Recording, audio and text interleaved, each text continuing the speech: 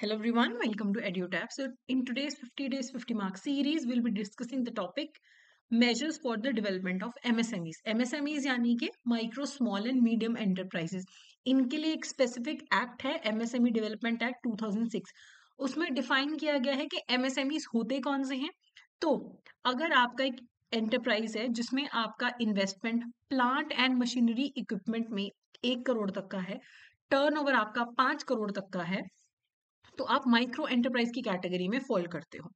अगर investment in plant and machinery equipment 10 crore तक का है और टर्नओवर 50 करोड़ से ज़्यादा का नहीं है तो आप स्मॉल एंटरप्राइज की कैटेगरी में फॉल करते हो। अगर आपका जो प्लांट एंड मशीनरी इक्विपमेंट में जो इन्वेस्टमेंट है, वो 50 करोड़ रुपीज़ से ज़्यादा का नहीं है और टर्नओवर 250 करोड़ रुपीज़ से ज़्यादा का नहीं है तो आप मीडियम एंटरप्राइज की कैटेगरी में फॉल करते हो।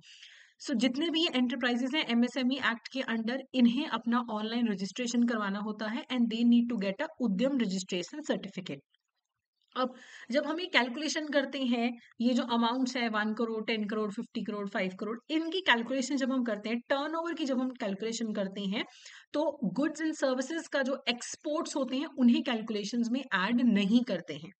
Okay okay? एमएसएमईज के लिए पैन नंबर और जीएसटी आइन ज़रूरी है मैंडेटरी है. जब हम प्लांट मशीनरी और इक्विपमेंट का कैलकुलेशन करते हैं, पहली बात तो इनकी डेफिनेशन वही है जो इनकम टैक्स रूल्स 1962 के अंदर दी गई है।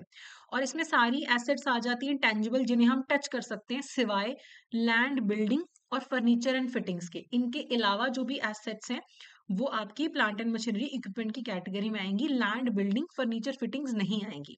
ओके फिर, एक पैन नंबर के अगेंस्ट आपके अगर दो फर्म्स रजिस्टर्ड है, इसका जीएसटीएन अलग है, दूसरे का जीएसटीएन अलग है कैलकुलेशन में इन्हें एक ही माना जाएगा, जब उनका टर्नओवर इन्वेस्टमेंट फिगर्स कैलकुलेट किए जाएँगे, यानी कलेक्टिवली लिया जाएगा। अगर आपका एक पैन के अगेंस्ट चार फर्म्स रजिस्टर है, चारों को एक मान के फिर टर्नओवर और लैंड बिल्डिंग सबका कैटेगराइजेशन होगा कि माइक्रो है स्मॉल है या मीडियम है। अब हम माइक्रो स्मॉल मीडियम एंटरप्राइजेस को प्रमोट करना चाहते हैं अपनी कंट्री में। क्यों करना चाहते हैं? क्योंकि इनमें इन्वेस्टमेंट कम होती है, लेकिन इनका रिटर्न ज़्यादा है, इनका एक्सपोर्ट्स में बहुत अच्छा कॉन्ट्रीब्यूशन है, इनका एम्प्लॉयमेंट में बहुत अच्छा कॉन्ट्रीब्यूशन है। So government has taken a number of steps to improve the working improve the environment required for the working of a MSME एक डिलेड पेमेंट्स को लेके क्या किया है हमने? हमने एमएसएमई एक्ट है, हमारा 2006 का वो बोलता है। जब भी एक माइक्रो या small enterprise not medium micro और स्मॉल एंटरप्राइज के साथ आप कोई डीलिंग करते हो, आपको कोई एमएससी कुछ सेल करता है तो आपको या तो जो अग्रीड डेट है, तब तक पेमेंट करना है, या मैक्सिमम जो अग्रीड डेट हो सकता है, वो 45 डेज़ हो सकता है फ्रॉम डिलीवरी कि डिलीवरी के 45 डेज़ के अंदर अंदर मैक्सिमम बायर को पे करना है, या अगर कोई डेट अग्री करी है तो उस पे करना है।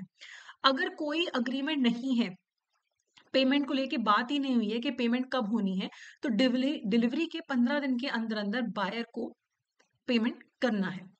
अगर बायर पेमेंट करने में चूक जाता है, डिले करता है तो उस पर कंपाउंड इंटरेस्ट लगेगा। पेनल्टी के तौर पे उसे एमएससी को, माइक्रो जो स्मॉल एंटरप्राइजेस हैं, उन्हें कंपाउंड इंटरेस्ट पे पेमेंट वापस करना पड़ेगा। और कितना रेट ऑफ़ इंटरेस्ट होगा?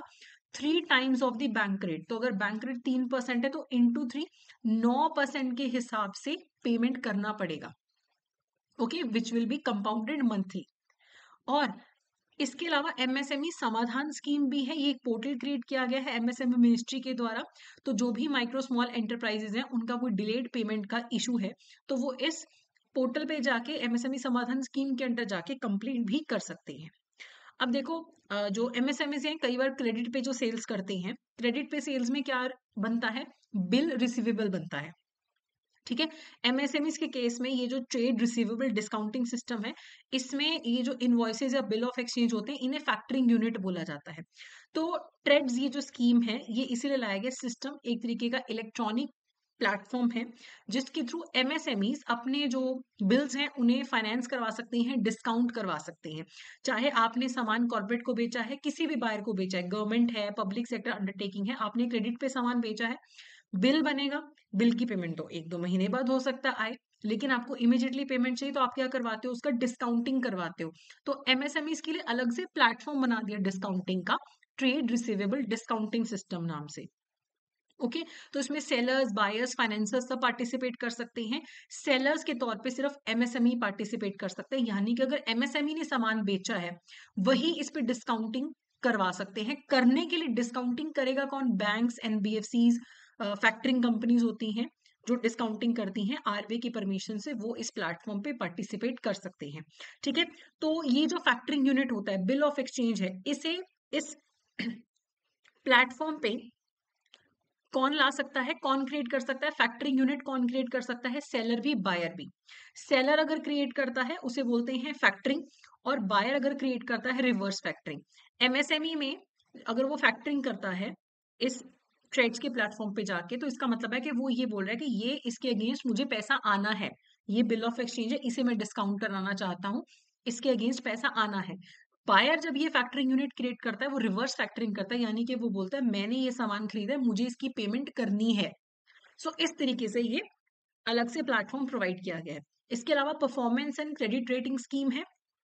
इसकी जो नोडल एजेंसी है वो है नेशनल स्मॉल इंडस्ट्रीज़ कॉरपोरेशन ठीक है? इसमें क्या होता है? ये स्कीम को इम्पैनल्ड एजेंसीज के थ्रू इम्प्लीमेंट किया जाता है, इसका मेन ऑब्जेक्टिव है कि जो भी हमारे स्मॉल स्केल यूनिट्स हैं, जिन्हें हम माइक्रो एंड स्मॉल एंटरप्राइजेस बोलते हैं, उनमें अवेयरनेस हो, अपनी स्ट्रेंथ्स को लेके, अपनी वीकनेस को लेके कि अभी का जो काम है, उसमें क्या स्ट्रेंथ या वीकनेस है और फ्यूचर में क्या अपॉर्चुनिटीज़ आ सकती हैं उनके पास। ठीक है? तो जैसे हम स्वॉट एनालिसिस करते हैं ना स्ट्रेंथ वीकनेस अपॉर्चुनिटी थ्रेट वही होता है यहाँ पे। अगर आपकी जो रेटिंग है अगर जो ये एजेंसी आपकी रेटिंग करती है, अच्छी रेटिंग करती है तो आपको इजी दामों पे लोन मिल जाता है, अच्छे रेट्स पे, अच्छे टर्म्स पे लोन मिल जाता है और एमएसएमई के पास ऑप्शन होती है कि वो कौन सी रेटिंग एजेंसी से अपना रेटिंग करवाना चाहते हैं।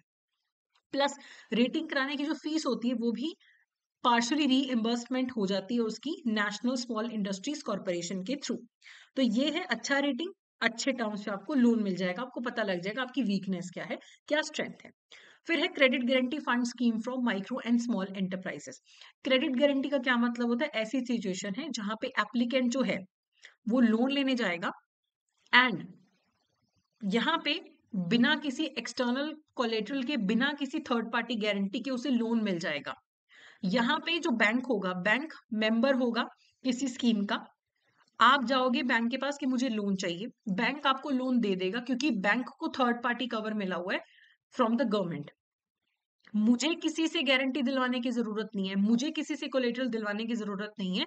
अगर मेरा लोन स्कीम के अंडर कवर हो रहा है सीजीटीएमएससी वाली स्कीम के अंडर कवर हो रहा है तो मेरा बैंक मेंबर होगा स्कीम का, उस बैंक को पीछे से गारंटी मिल जाएगी। तो ये जो सीजीटीएमएससी है, इसे सेटअप किया गया है ministry of MSME and SIDBI के द्वारा अगस्त 2000 के अंदर।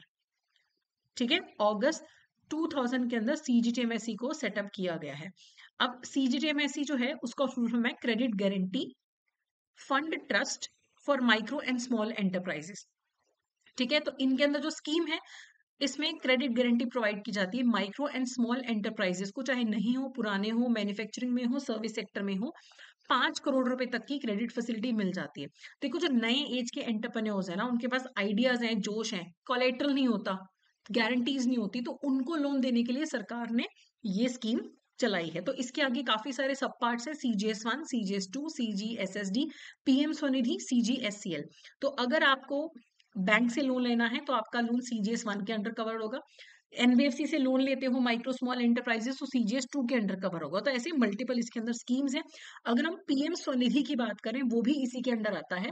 ये स्कीम को इम्प्लीमेंट करता है ministry of housing and urban affairs 2020 से ये चला था कि जो हमारे स्ट्रीट वेंडर्स हैं, जो स्ट्रीट्स पे सामान बेचते हैं, उनको माइक्रो क्रेडिट दिया जाए, बिना किसी गारंटी के, बिना किसी कोलेट्रल के। पीछे से आपको देखो, मैं अगर एक स्ट्रीट वेंडर हूँ, मुझे सिर्फ़ बैंक से लोन लेना है बैंक को गारंटी पीछे से सरकार दे रही है सीजीटीएमएससी के थ्रू ठीक है? तो 2024 तक इस स्कीम को, दिसंबर 24 तक इसे एक्सटेंड किया गया है और इसके जो इंटरेस्ट सब्सिडी क्लेम्स है गारंटी के क्लेम है, ये 2028 तक बैंक फ़ाइल कर सकते हैं। तो पहला जो नया बोरोवर है, उसको पहला लोन मिलेगा दस हज़ार का, उसे बारह महीने में चुकाना है। दूसरा लोन मिलेगा बीस हज़ार का, चौबीस महीने में चुकाना है। तीसरा लोन मिलेगा पचास हज़ार का, छत्तीस महीनों में चुकाना है। इंटरेस्ट सब्सिडी भी मिलती है सात परसेंट पे। तो इसमें क्या है? एक जो स्ट्रीट वेंडर है, पहला लोन अच्छे से चुका देगा, दूसरा मिल जाएगा, तीसरा मिल जाएगा। तो दस, बीस और पचास हज़ार तक के इसमें लोन मिलते हैं। अब इनके रिगार्डिंग कुछ एमसीक्यूज देख लेते हैं।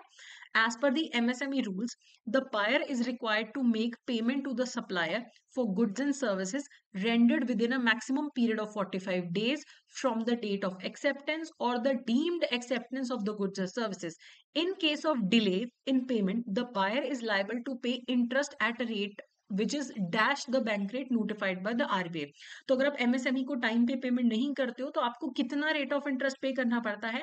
बैंक रेट का थ्री टाइम्स आपको पे करना पड़ता है। तो बी यहाँ पे करेक्ट आंसर है। In TReDS factoring unit can be created by कौन क्रिएट कर सकता है? Seller buyer government both A and B seller भी फैक्टरिंग यूनिट क्रिएट कर सकता है और बायर भी कर सकता है। सेलर करेगा तो उसको फैक्टरिंग बोलेंगे बायर बोलेगा तो उसे रिवर्स फैक्टरिंग बोलेंगे ओके तो डी यहाँ पे करेक्ट आंसर है। Which of the following is not considered when calculating the turnover of an MSME for classification purpose under the MSME development act तो जब टर्नओवर का कैलकुलेशन होता है, मैंने आपको क्या बोला था? Exports of goods and services को आप कैलकुलेशन में ऐड नहीं करते हो, है ना? तो डी जो है यहाँ ए जो है यहाँ पे करेक्ट आंसर है। अगला है under the Pradhan Mantri vendors Atmanirbhar uh, Nidhi scheme, that is PM Swanidhi scheme, the third loan provided to a borrower has a maximum amount of. तो पीएम स्वनिधि स्कीम के अंडर जो third loan मिलता है कितने का मिलता है? B पचास हज़ार का मिलता है। पहला दस का दूसरा बीस का तीसरा पचास हज़ार का। तो सी यहाँ पे करेक्ट आंसर है। तो ये था हमारा आज का सेशन इस सेशन का जो पीडीएफ है वो आपको हमारे टेलीग्राम चैनल पे मिल जाएगा। बाकी सारे पीडीएफ भी टेलीग्राम चैनल पे ही अवेलेबल है। तो good luck Thank you so much. That's it for today.